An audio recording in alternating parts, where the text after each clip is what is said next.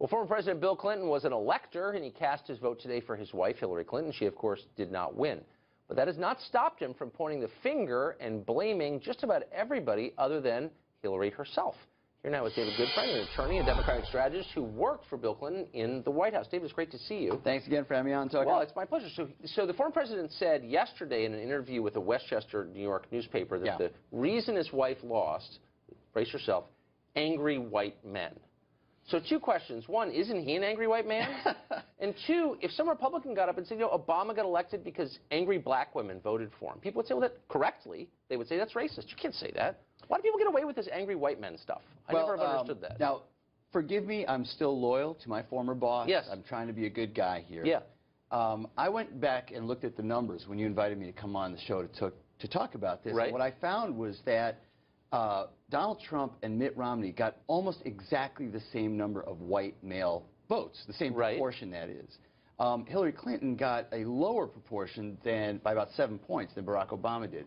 So I would, I mean, I love my former boss, President Clinton, but I think that in this case, it was equally a story about a lack of turnout among some of our core constituencies and some of the really important swing states. I don't think, in other words, that it presents a complete pic picture, what he said. Now, that having been said, he then glossed over something that I think is much more relevant, and you've been focusing on it on your show. He said, yeah, and then there was the FBI and the Russians. Well, hold on a second. We've got John McCain, chairman of the Senate Armed Services Committee, Lindsey Graham, Republican of South Carolina, saying, hey, we need to focus on the fact that a foreign country tried to interfere with our election. Okay, but that come ought to be something I mean, we let's can just, talk can, about. Can we be? T- I mean, how real do you want to be? So the apparently our intel community, to the extent we can Right. suss out what they actually and, my, and the Greenwald segment was interesting on that. it is, and Greenwald's no conservative, just for the record. not. No, that's right. But it is believed that the Russians started their hacking of the respective committees Right. before Donald Trump announced for president. Right. Okay, so let's, I mean, there's constant hacking of American Absolutely. institutions in the private and public sectors. This is just ridiculous. Well, but but can here, we, we- can I just read you some numbers I think are really interesting? I, I think we ought to at least have hearings about it. I think yeah, that's okay, that, that's idea. fine. But let's stop with this McCarthy Yes, and the, the, the hearings would actually tamp down, I think, Maybe. I mean. I don't know. Since Obama's election in 2008, the Democratic Party has lost 11 Senate seats, 63 House seats, a dozen governorships, and more than 800 state legislative seats. So there is a problem here that goes beyond the Russians, the Electoral College, angry white men. Is anyone in the Democratic Party going to assess that? Maybe Obama is not a good thing for the Democratic Party. 800 legislative seats? Well, look, uh, I'm a good Democrat. I think our party stands for a lot of good things, but I also think that introspection and kind of figuring things out is really important.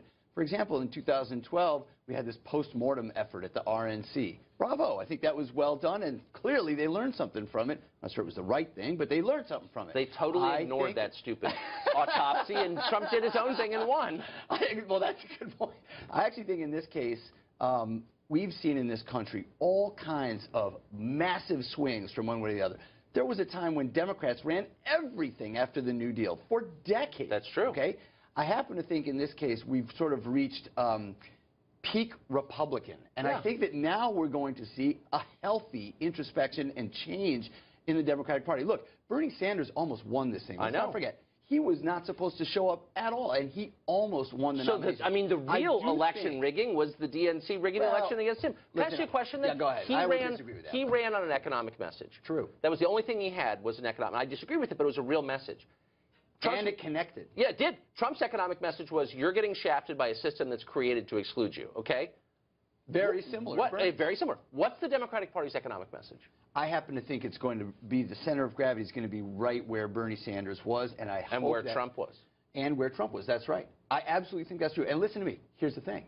Now the Republicans are in charge of everything, and we get to see will it work. Donald Trump seems to be naming people that look more like a George W. Bush administration, which didn't turn out too In well. some ways, yeah. I am kind of hoping that he's a success because I come from a lot of I come from a state that's been hammered, Wisconsin, Yeah. where I hope people get jobs.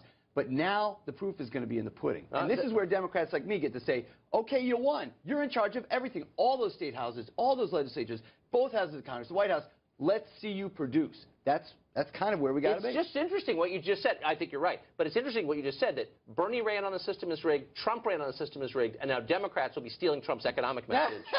Amazing. I happen to think that Trump stole our economic message. Maybe but he that's did. another conversation. David Goodfriend, thanks a lot for joining us. Hey, Merry Christmas. Merry Christmas. Thank you.